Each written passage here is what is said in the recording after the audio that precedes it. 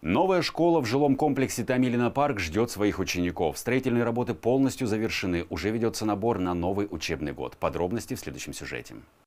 Три корпуса школы в ЖК Тамилина парк строили полтора года. В новом учебном заведении три спортивных зала, большой актовый зал, библиотека и столовая на 550 посадочных мест, просторные классы и коридоры. Все для комфорта учеников.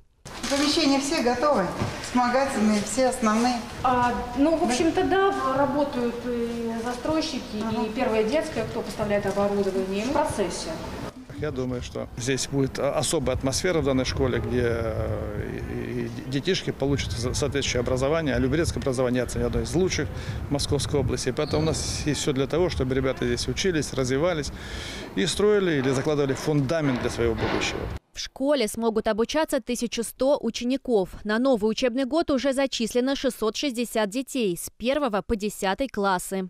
Я думаю, что мы откроем все параллели, за исключением 11 класса. Выпускники должны, я считаю, доучиться э, там, где они начинали э, учиться, потому что впереди у них будут э, и государственные экзамены. Ну и менять коллектив в целом, место для обучения нецелесообразно.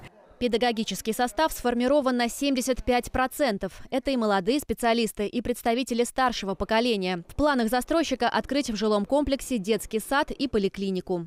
В настоящий момент завершено проведение итоговой проверки стройнадзора. Все в соответствии с графиком. Немножко нас напрягли известные ограничения, а, связанные с пандемией, но тем не менее мы все сроки выполнили.